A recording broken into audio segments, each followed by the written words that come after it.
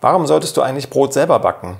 Ähm, Im Grunde sage ich immer, am besten gar nicht, wenn man einen guten Bäcker hat. Und das ist schon der Haken. Gute Bäcker gibt es nur noch ganz selten. Und wenn man den nicht hat und ein bisschen Zeit im Budget, dann lohnt sich das selber backen. Oder es gibt ganz viele Menschen, die das Brot, was sie kaufen können, gar nicht mehr vertragen, die dann anfangen selber zu backen mit viel Zeit und ähm, viel Geduld für den Teig. Dann verträgt der Darm das wieder. Und die andere Variante, die verkörpere ich im Grunde, ist einfach Entspannung. Es ist meditativ, Brot zu backen und holt einen wieder runter vom Alltag. All das ist möglich. Mit ein bisschen Erfahrung und Experimentierlaune funktioniert das auch kinderleicht.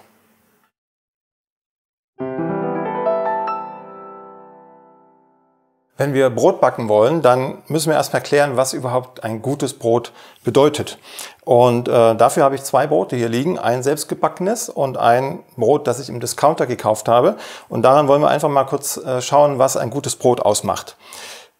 Zuerst die Äußerlichkeiten. Wir sehen schon Unterschiede. Das hier hat einen schönen Glanz, ähm, eine schöne Bräunung, ist schön voluminös, einigermaßen rund.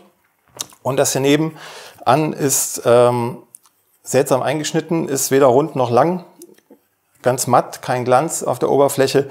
Ähm, insofern spricht mich das Brot viel eher an als das. Das sind also die ästhetischen Geschichten. Die Kruste hier knackt ganz toll, ist ganz knusprig.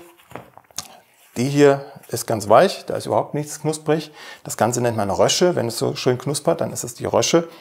Und ähm, wenn wir dann hier reinschauen in das Brot, dann wird sich zeigen, dass das hier relativ kompakt ist und das hier relativ locker. Das sind aber wieder Sachen, die sind sehr individuell. Also wenn der Bäcker sagt, ich habe hier vorgehabt, ein ganz äh, feinporiges, dichtes Brot zu backen, dann ist das völlig in Ordnung. Wenn er aber sagt, es sollte eigentlich ganz locker sein, grobporig, dann hat er irgendwas falsch gemacht. So, wir schneiden das Brot einmal an.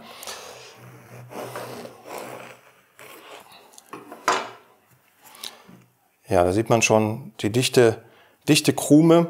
Der erste Test, um rauszukriegen, ob die Krume in Ordnung ist, man drückt mit dem Daumen hier rein und wenn die Krume zurückfedert, dann ist zumindest erstmal vom Backprozess her alles vernünftig gelaufen. Die kommt zurück, die ist sehr elastisch.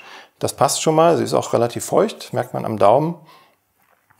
Der nächste Test wäre jetzt ähm, der Geruch und da kommen wir jetzt schon langsam in die Frage, wie soll denn ein gutes Brot riechen und schmecken.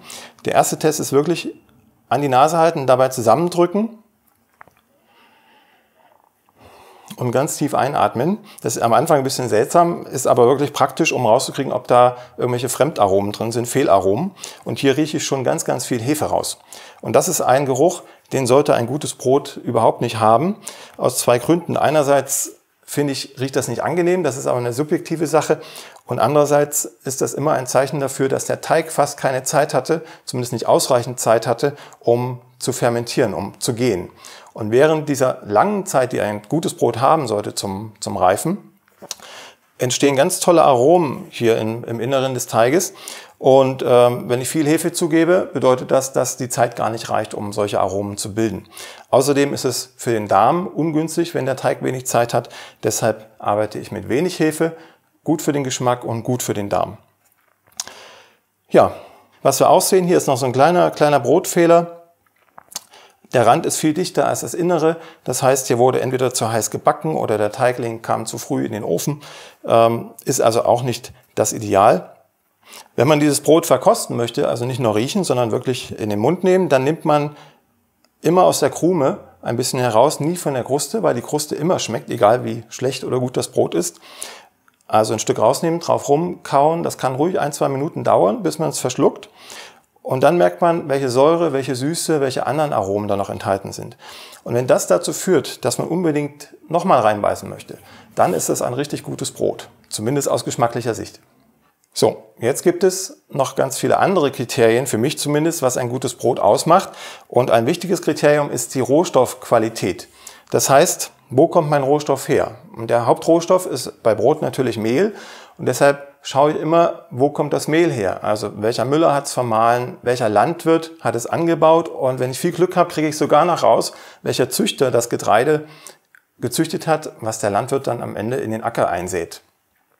Und wenn diese Wertschöpfungskette ziemlich sauber ist, also keine Pestizide dabei sind, das Saatgut ökologisch gezüchtet wurde und der Müller auch noch handwerklich arbeitet, also keine Zusatzstoffe in das Mehl packt, dann ist eigentlich alles in Ordnung.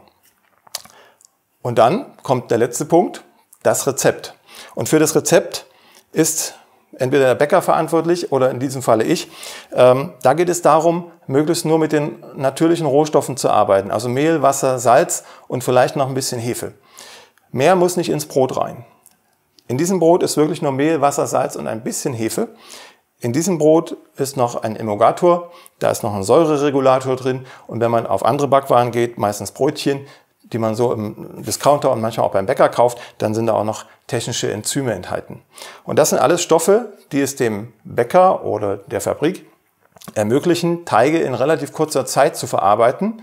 Jetzt wissen wir schon, ist nicht so gut für den Darm, ist nicht so gut für den Geschmack, aber es kommt am Ende ein relativ voluminöses Brot raus, ein braunes Brot, was ohne Zusatzstoffe gar nicht so geworden wäre. Mein Ansatz ist, ich lasse dem Brot Zeit, ich verändere die Rezeptur so, dass ich mit dem natürlichen Rohstoff arbeiten kann, ohne dass ich Verarbeitungshilfsstoffe oder Zusatzstoffe zugeben muss.